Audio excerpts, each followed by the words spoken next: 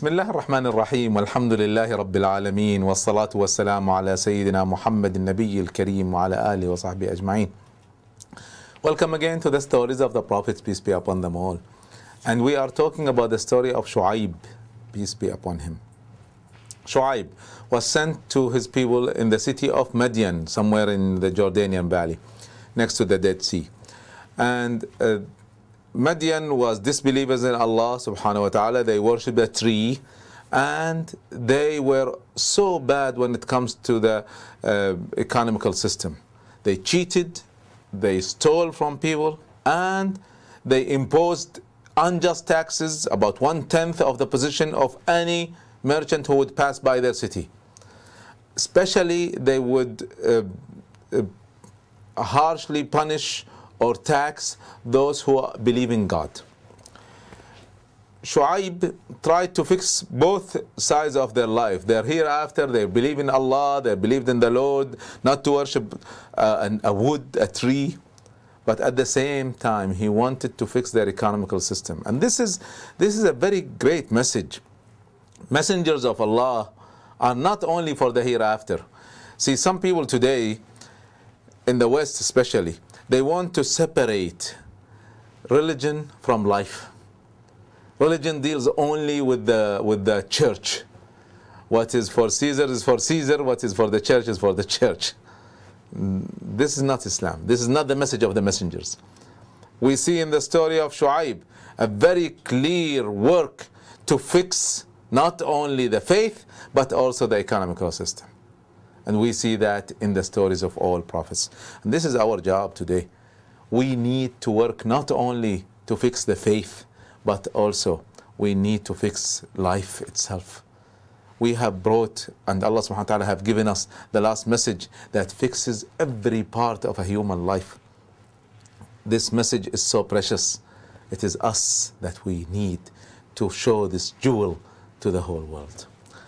Shu'aib tried so hard, peace be upon him. He said, O my people, tell me, if I have a clear evidence from my Lord, I brought you signs, I brought brought you miracles, you still did not believe.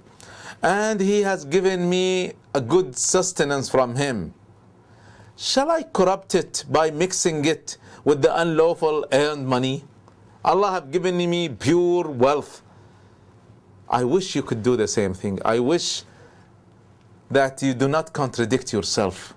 You preach something and you do something else. And I wish you would listen to me and forbid what I order you to forbid. I'm, I'm, I'm, I'm asking you to do something good. I'm, I'm looking for the best of this, the city of Madian and the community of Madian and for those who pass by. I only desire to reform the best and uh, I want uh, the best for you. This is, the, in short, the message.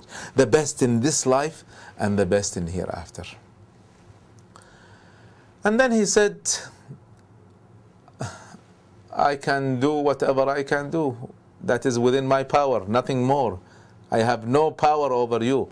Allah gave me the ability to tell you the message, but he, Allah does not give any messenger the ability to force you into faith. I cannot force you into faith. Into faith.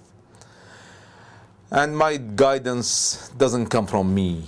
It is not I that was so clever that became a messenger. It is only with the mercy of God that He has given me this message. Again, He's, he's summarizing to us what is a messenger. Not only Him, but all messengers. They have no force, they have no special abilities. All they can do is just show their people with clear evidence, with clear words, what is the message, and it is up to the people whether they want to believe or not. And then he said, In Him, in Allah, I trust, and unto Him I repent.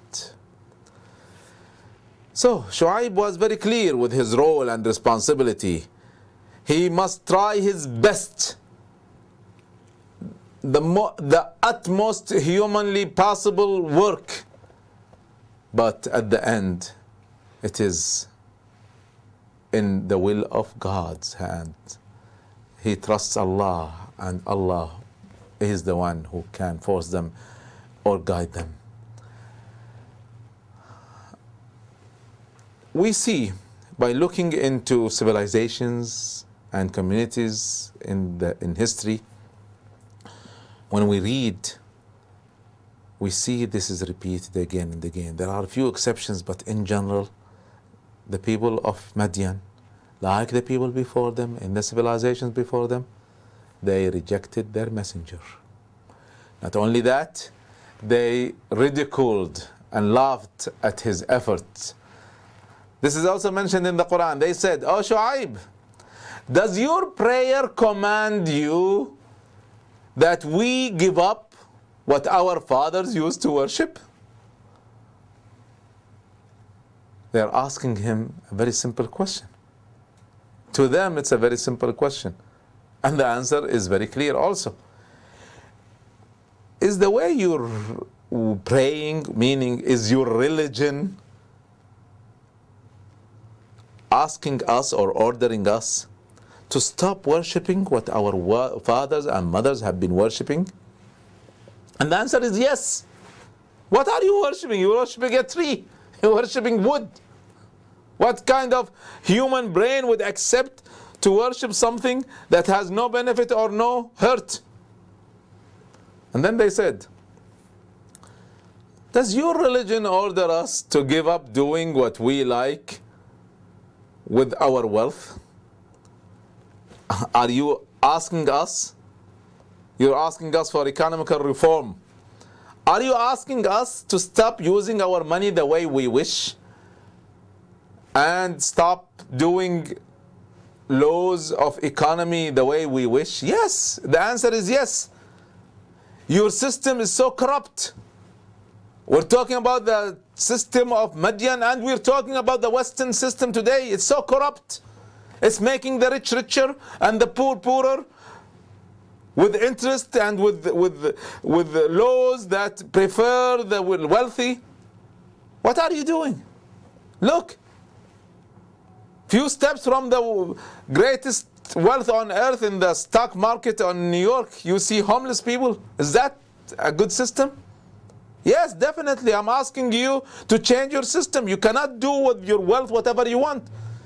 You have to follow a just and ethical system. That is the message. It is not, it's not only a message of the hereafter, it's not only the message of worship God, it is also fix your life. Be human. Care about those around you, especially the needy and the, the poor and the weak. And they, when he said to them, Yes, that's what I'm asking you to do, they said, Verily, you are the forbearer, the right minded. You are the only one who's in, in, in, in, just mind among us. You're the only one who can think clearly and think correctly. Is that what you're do? You want to tell us? They were ridiculing him. They were talking to him sarcastically.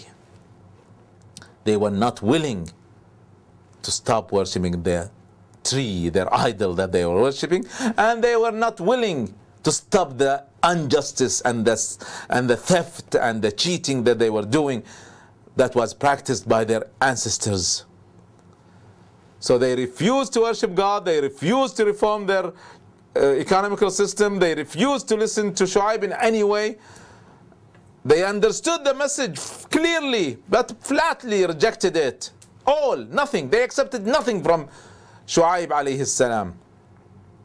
And they continued to make fun of him and his righteousness.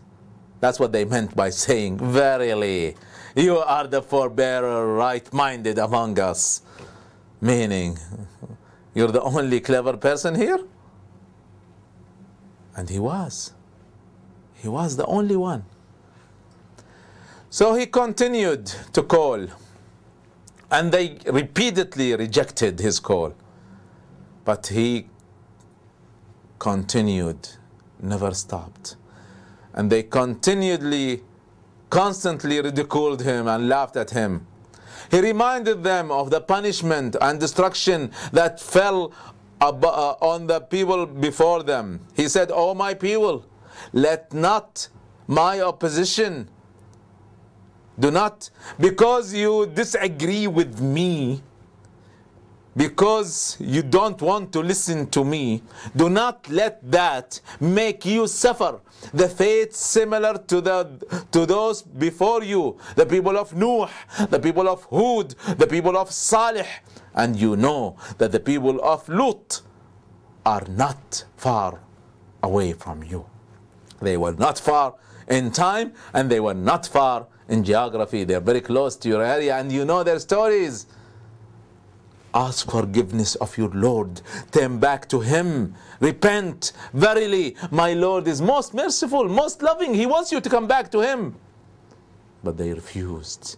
Shu'aib urged his people to seek Allah's forgiveness and repentance because He's merciful, subhanahu wa ta'ala. Glory to Him.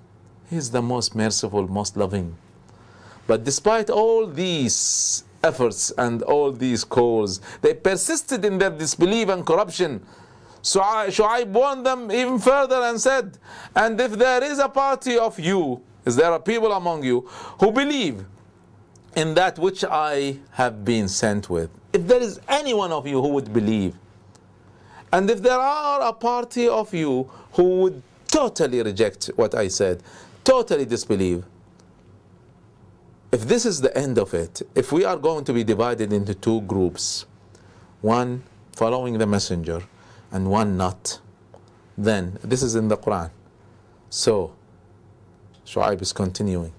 So, be patient until Allah's judgment comes between us. He is the best of judges. So, don't force me into your religion, and I will not force you into my religion. All we can do now is that we will try to convince each other. But one day, when the two groups are so clear and there is no one moving from one to another, settled, then on that day, the judgment of Allah shall prevail, and Allah's judgment is the most perfect, most just. He is the best of judges. They simply did not bother at all with his message. Worse, worse than that, they warned Shu'aib and the very few group that followed him. They, there was very few people who followed him. They gave them a warning. The chiefs of the disbelievers, those arrogant among his people, said, We shall certainly if you insist on your message, insist on bothering us, insist on ridiculing our um, economical system, insist on calling us thieves and cheaters, we shall certainly drive you and your followers out, O Shu'aib. Or else, we'll give you one more chance. Return to our religion. He said, Return to your religion, even though I hate it, I totally disbelieve in it. And they said, Yes, you have a choice and you have to decide either to leave our city or come back to our religion. And we will give you a few days to think about it, and then we will force you and your followers into that. So they threatened to expel Shu'aib and the believers with him away from their homeland, Madian, unless they reverted to the old deviated and corrupt practices in religion and in economy. But despite the small number of believers, although they were very few and the threat was so dangerous, they remained firm on their religion, led by Shu'aib alayhi salam. Now, how could they go back to a religion that is so obviously just mad? Worship a tree. And how would they go to a way of life that is totally unjust? They said, Shu'aib and his followers said to their people, We would have invented a lie against Allah if we return to your religion. If we say this would deserve to be worshipped, this is a lie. After all, Allah has rescued us from this worship. It is not for us to return unless Allah, our Lord, should will. Our Lord comprehends all things in His knowledge. In Allah, we put our trust. You're threatening, threatening us. We cannot stop you. You're too numerous for us. But we are weak in numbers, but we are very strong because our trust is really in Allah, in God. Our Lord shall be the judge between us and our people in truth. For you, our Lord, are the best who give judgment. Shu'aib and the believers supplicated and prayed and prayed and prayed to Allah to decide between them and their people because they were threatened to be expelled. Again, the people of Shu'aib, especially their leaders, did not hinder their warning. They insisted on the warning. The chiefs of those who disbelieved among his people said, and this is in the Quran, if you follow Shu'aib, be sure then that you will be the losers. Meaning, you will be expelled with nothing. You cannot take anything with you. Those leaders decided on this because of a reason. They felt that the message was strong. Shu'aib was so convincing.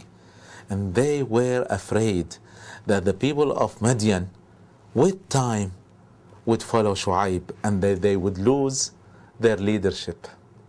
It's all about leadership and life and uh, power and influence. It's all about that. So they decided not to give him the chance even to call.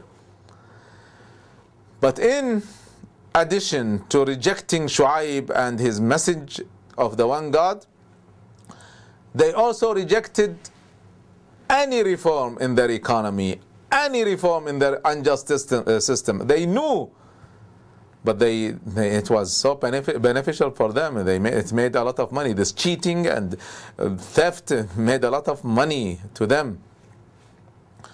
And then they said to Shu'aib, this is also in the Quran, you are only one of those bewitched. Now they're, they're changing their words now. That they were afraid that their people would be affected by him. This is a, a witchcrafter, this is a magician. Don't follow him. And then they said, he's saying he's a messenger of God. In the Quran, they said to him, You are no more than a mortal like us. You're just a human being like us. And indeed, we think that you are a liar. Now, if you're telling us the truth, then we challenge you. We challenge you, and this is their challenge mentioned in the Quran. We challenge you to cause a piece of the sky to fall upon us if you are truthful. So they accused him of being a witchcrafter, a magician. They publicly proclaim that he is a liar, and they challenge him to disprove it by causing a piece of the sky to fall upon them. Meaning, if you're threatening us, threatening us with the punishment of your Lord Allah, then do it. Then do it. We're not afraid of that. So it was total rejection, false accusations, same like what the people of Ad and Thamud and the people of Lut and Noah, it's the same like the people before them have done. So, we come to the same stage. They rejected. They threatened Shu'aib. They asked for the punishment of Allah to fall upon them. And they were ready to hurt Shu'aib and his followers. With these, usually Allah subhanahu wa ta'ala interferes. As long as there is hope, they will be given a chance. But now they are challenging Allah and they're refusing anything and they're threatening the Prophet himself and his followers. Now Allah supports his messengers and we see the end of the people of Shu'aib in our next episode, inshallah. Thank you for following. Assalamu alaikum wa rahmatullahi wa barakatuh thank you